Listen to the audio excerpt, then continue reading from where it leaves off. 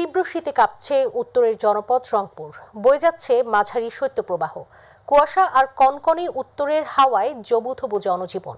গত এক সপ্তাহেরও বেশি সময় ধরে রংপুর অঞ্চলে চলছে মাঝারি ও ভারী শৈত্যপ্রবাহ। সাথে রয়েছে কনকনে শীত আর হিমেল হাওয়া। শীতের তীব্রতার সাথে শৈত্যপ্রবাহের প্রভাবে বিপর্যস্ত হয়ে পড়েছে এ অঞ্চলের জনজীবন। প্রতিনিধি মাহমুদুল হাসানের রিপোর্ট জানাচ্ছেন শামসাবিজ উচ্ছ্বাস।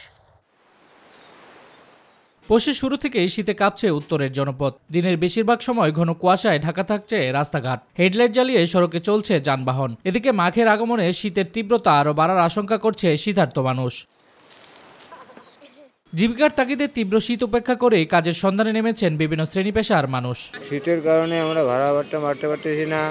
যাত্রী নাই ভাড়া কম এদিকে পর্যাপ্ত শীতবস্ত্র না থাকায় দুর্ভোগ বেড়েছে হতদরিদ্র ও ছিন্নমূল মানুষের। এই যে আমার গায়ে একটা চাদর এই মাত্র শেষ আর কিছু না। খুব কষ্ট করে আছে এই জায়গায়। থাকি থাকি আছে ঠান্ডা লাগে। এই পর্যন্ত আমরা কোনো আর্থিক সাহায্য পাইনি কোনো কম্বল বা কোনো কিছু পাইনি। সরকারিভাবে বিতরণ করা শীতবস্ত্র চাহিদার তুলনায় সামান্য বলে জানিয়েছেন ভুক্তভোগীরা। জেলা প্রশাসক জানিয়েছে পঞ্চান্ন হাজার কম্বলের বরাদ্দ পাওয়া গেছে পর্যায়ক্রমে তা বিতরণ করা হবে। বরাদ্দ এসেছিল পঞ্চান্ন হাজার। সেটি আমরা, এই যে বিতরণ চলমান আছে, প্রতিটি উপজেলায় এটি ডিস্ট্রিবিউশন করা হয়েছে ইউনিয়ন পর্যায়ে বিতরণ হয়েছে। অসহায় শীতার্থ মানুষের পাশে সরকারের পাশাপাশি বিত্তবান্ধব এগিয়ে আসার আহ্বান জানিয়েছে জেলা প্রশাসক। শামস্তাবৃদ উচ্ছ্বাস, মাই টিভি, নিউজ ডেস্ক।